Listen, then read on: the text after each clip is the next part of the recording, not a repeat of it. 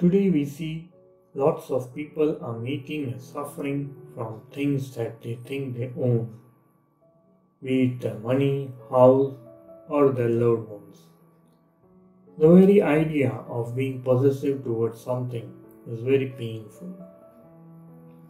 So, how do we overcome possessiveness? Let's see Sadhguru's wisdom on overcoming possessiveness.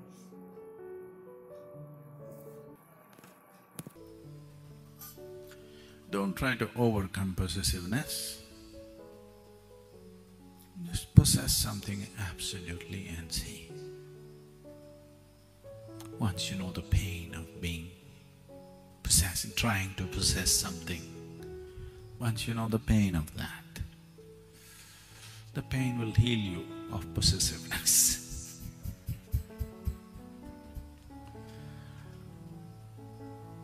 you trying to overcome possessiveness is not going to work because you already tried, isn't it? Obviously you've tried, you failed and that's why you're asking me. Possess, absolutely. Whether it's your husband or your child or your… even your home or even your dog, try hard to possess it totally you will see it'll bring unbearable pain to you.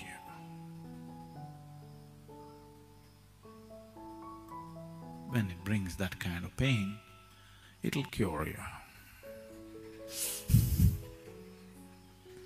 So, uh, why is it that you want to possess? You know, in India or anywhere in the if you say somebody is possessed, what it means? The one who is possessed is a victim, but one who possesses, you know who he is? You are just that. When you try to possess, you'll become a devil. No, no, no, I love very much yes, with good intentions you will become a devil. That is the problem about possessiveness. Very good intentions. And how do you know devil has no good intentions for you? Who knows? How do you know God has good intentions for you? Only the… only the propaganda says so. But you don't know for sure, isn't it?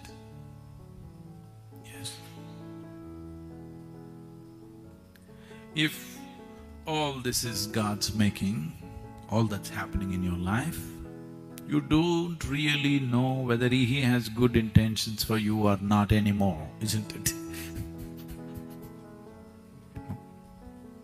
You know for sure? You know for sure? You don't know. And you don't know whether devil has bad intentions for you. You don't know. One who is… one who possesses is usually a devil. So with good intentions, when we said somebody is a devil, we did not question his intention. We only are talking about the result of his action, isn't it? Yes? We are not questioning his intention. We, a devil of a wind. Maybe the wind is blowing with good intention, but because it's devastating your home, you call it the devil because of the result, isn't it? So if the result that you are bringing about is painful, you are the devil. Your intentions may be good, the result is painful for somebody around you, then you're a devil. So if you manage to possess, you must be a devil. And uh, these victims who are possessed, by something else, they can cause hell of a lot of problem to everybody around them. Have you seen them? so, if I tell you don't possess, you're not going to stop anyway, because this is a very deep-rooted problem. This is not going to go away because of somebody's advice. Please don't possess anybody. It's not going to go away. You may shift your objects of possession from this to that,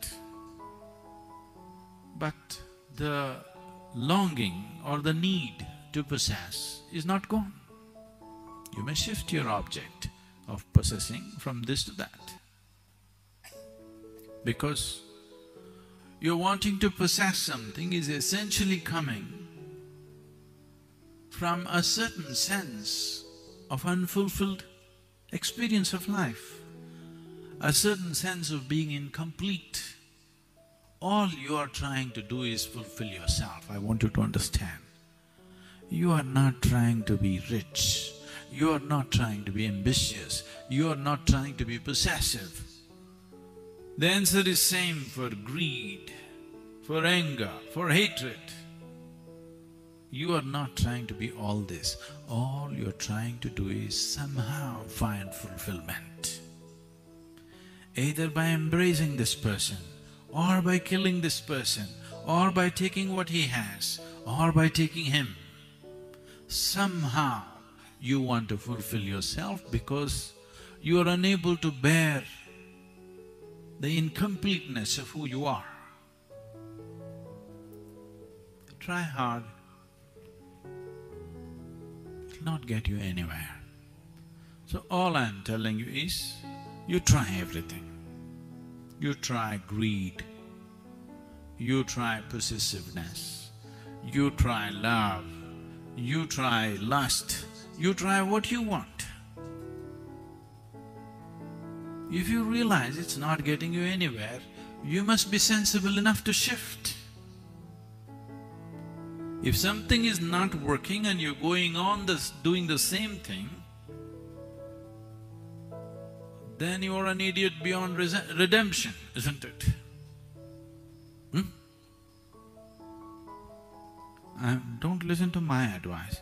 Try something. If it works, go on that path. If it doesn't work, leave the nonsense and try something else, isn't it?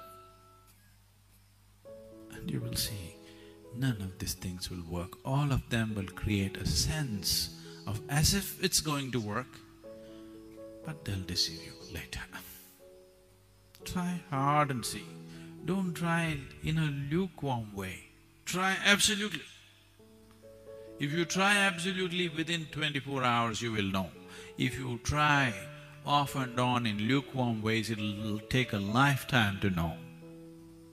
Then if there are twenty-four qualities, you need twenty-four lifetimes to realize this doesn't work, this doesn't work, this doesn't work, this doesn't work. If you try really hard, within twenty-four hours you will know it doesn't work. Whatever it is, your problem, go all the way into it. You'll see, within twenty-four hours, this is no good, it will never work. It'll be hundred percent clear to you.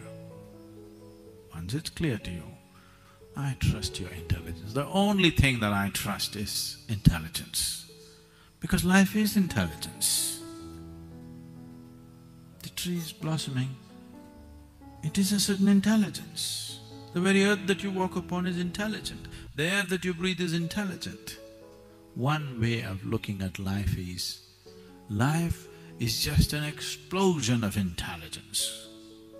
What you call as creation and what you refer to as the creator is the ultimate intelligence, isn't it? That's the only thing you can trust right now.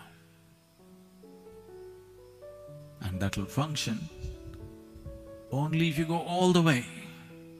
If you go like this, it'll give you a false sense of comfort and solace.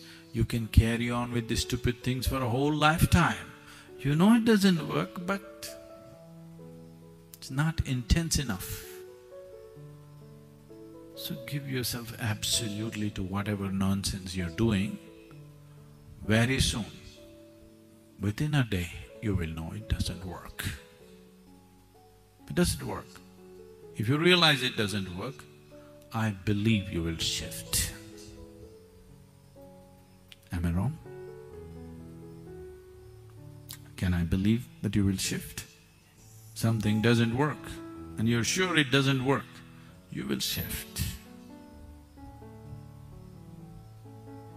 Fulfillment, completeness is not going to happen by getting this or getting that. It'll only happen when this piece of life is alive to its core. That the very source of creation in this you have divined. Only when you have touched that, you find everything is fine. Now you can play life like a football game. You're on when it's on, when you want to switch it off, it's off. Then nothing is a problem.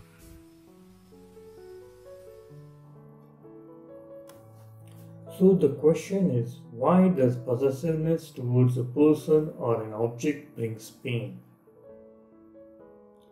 The sense of incompleteness or the sense of unfulfilled life is the reason behind you being possessive about anything.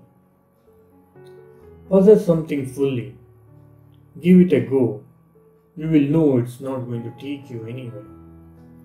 The pain that you get from possessing is enough for you to realize that possessing something is not going to take you anywhere. Try hard and see it will not work. By possessing something, you will never achieve fulfillment or completeness. Try it and see.